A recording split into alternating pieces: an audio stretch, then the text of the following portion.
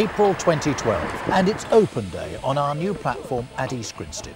We're at the northern end of the long-awaited link between here and the rest of the Bluebell Railway. Roy Watts is the chairman of the Bluebell Railway Preservation Society.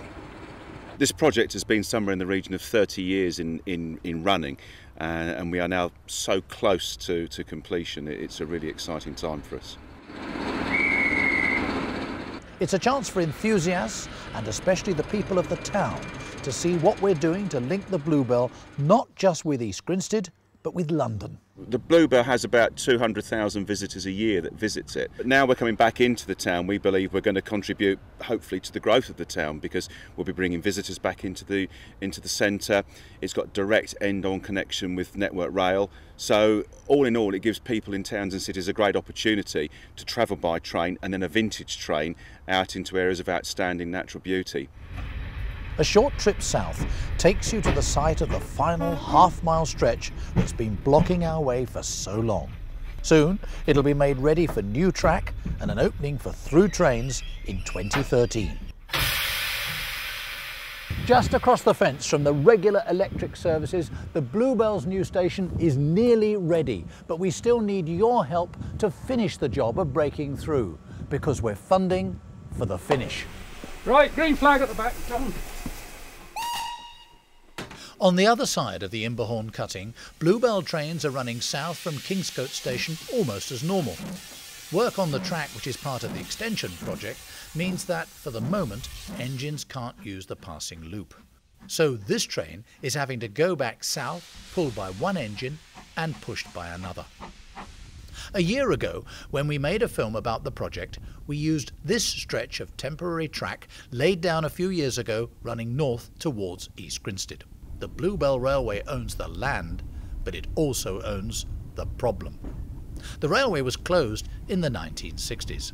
As if to put a seal on it, the local authority used the Imberhorne cutting for its domestic waste, completely blocking the line here about a mile north of Kingscote Station. Ahead of us, last year, on the other side of that road bridge, lay a quarter of a mile of domestic rubbish. This was the scene from the small footbridge at the height of the excavation work. The line inched its way south as the rubbish was removed. But most of the tip, a quarter of a mile of it, still had to be cleared. Over the last 18 months, we raised nearly £2 million in generous donations to help clear the way from Imberhorne through the cutting south towards the road bridge. Using temporary track, 79 trains have carted away 80,000 tonnes of rubbish to other landfill sites in the Midlands. And 20,000 tonnes were shifted by road vehicles.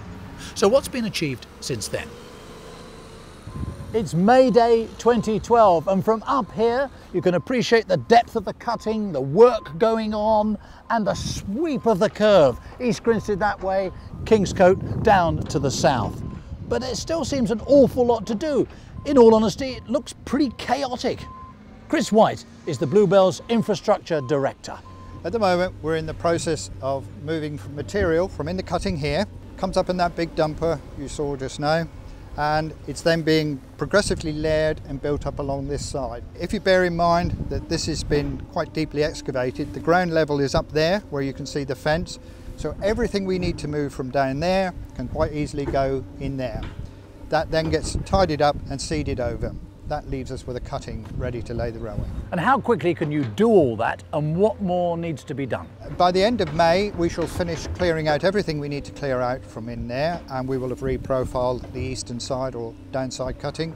We'll have tidied up this eastern embankment which is all sandstone uh, and then we shall set to work on re-engineering the upside or the western embankment, which needs a bit more work to it. South of the famous cutting, track put down a few years ago for Bluebell trains to remove spoil have been lifted to allow another key job to be done. Chris, there was track here right up to the bridge behind you. It's gone. What are you trying to do? From a distance of about 600 metres south of the bridge behind me, we've lifted the track and we're reprofiling the formation of the track right up to the bridge. To understand why we're doing this, we have to go back to the cutting itself. One of the things we were anxious to do in the cutting was to make sure that we disturbed the remaining waste on the western side as little as possible. We wanted to leave it in position and static. We also were conscious that we wanted to keep the height of that embankment as short as possible. The two things together minimise the work and make it a safer railway carrying through the cutting. So in order to do that, we've got to lift the centre of the cutting. We've got to make the summit slightly higher than it was originally. Therefore, the approaches on this side and on the northern side as well have got to be re-engineered to slightly increase the gradient. That way we achieve a much lower embankment going through the cutting and it makes it neater and more efficient. And you are very fortunate to have a, a very high and very handsome bridge to enable you to do that. The attraction of taking that option was the fact both of these bridges are quite capable of taking two locomotives one on top of the other. Uh, they are so tall above the original track level. So we were able to maximise that potential. Um, we're not taking it up to that height. The height underneath the bridge will probably be about a metre and a half more than it was originally. The remodelling at Kingscote North is a major part of the extension project. The original track work north of the platforms and a run round facility for the engine using Kingscote as a terminus was designed very much on a temporary basis and is not fit for passenger carrying trains. So we're completely remodelling the north end.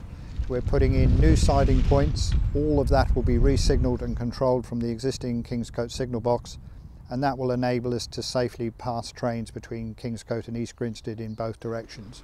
Therefore, that work has to go on in parallel with everything else. There's a lot of signalling alterations to do there to control that, but it's absolutely essential before we can run passenger trains through to East Grinstead. How quickly can you get the track in? How quickly can you get trains running? The delivery programme shows the railway being laid in August and September. So even allowing for delays, I'm confident we'll have it down by the end of the year.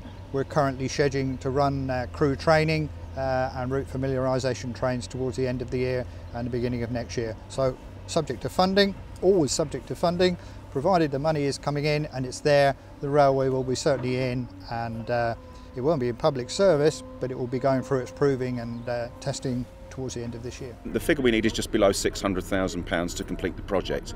And that 600,000 will be spent literally on the enabling works, as I said, to finish the cutting, lay the track, complete the signalling. There's, there's still quite a bit of work to do. The station here at East Grinstead is slowly coming to life. There's a lot to do. A new footpath, car parking for the disabled, a new water tower. Because all steam engines need water and coal, fundamental ingredients for their existence. It is being funded by an investment grant of £25,000 from Mid Sussex District Council. And then what we're also going to do is we're going to provide um, a, a, railway sympathetic building as a, as a visitor centre for retail and catering. But the people of the town can see that the railway is coming. It means that a direct connection between London and the Bluebell is tantalisingly close. Steam specials can come through here, bringing visitors to the town. So much has been done, but a lot needs to be done, especially that final vital link beyond the viaduct to Kingscote. We need another £600,000 before trains could run the full length of the line. With any luck and with your help, the first trains could be running through here in the spring of 2013. So do give generously for this final appeal. This is how you can help. You can donate now at any booking office, or you can send money by post. If you're a taxpayer, you can get a gift aid form from the booking office, and this means we can recover tax. Send the donation to the Bluebell 50th Anniversary Appeal at Sheffield Park Station, TN22 3QL. Or you can phone us and make a donation giving us your credit card details.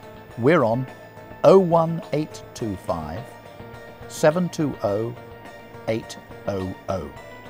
Finally, you can also donate via the website www.bluebell-railway.co.uk. Just click the donate button and follow the instructions.